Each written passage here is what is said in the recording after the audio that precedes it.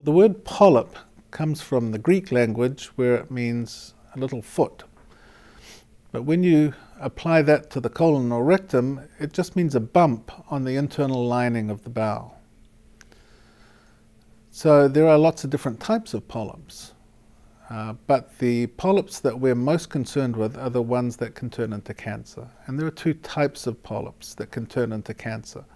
One is the adenoma, which means a polyp formed from glandular tissue, which is the normal tissue that lines the colon and rectum, and the hyperplastic or serrated polyp, which is another variety of polyp that is pre-malignant.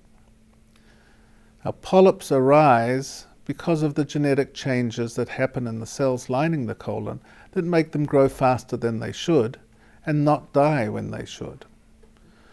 We're not aware of this usually, but the cells that lining the colon only live for about a week and then they die and shed are replaced by new cells. Now, sometimes those cells don't die because of genetic changes and they build up and they form these polyps. All colon and rectal cancer arises from a polyp. Sometimes we don't see the polyp that caused the cancer, but it was always there. And Therefore, by removing polyps as they are found and as they grow, we can prevent colon and rectal cancer.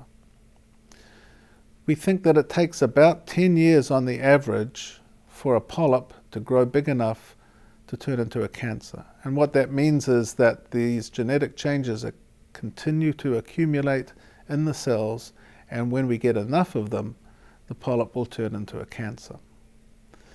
Sometimes patients uh, with a family history uh, will, it won't take 10 years, it'll be quicker. And so that's why patients with a family history of colorectal cancer, we advise colonoscopies more frequently than the 8 to 10 years that the average population patient will uh, be advised.